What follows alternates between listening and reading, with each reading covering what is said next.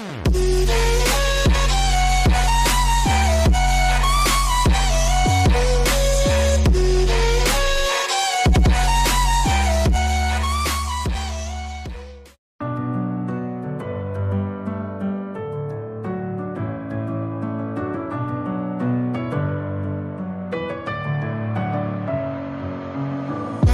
head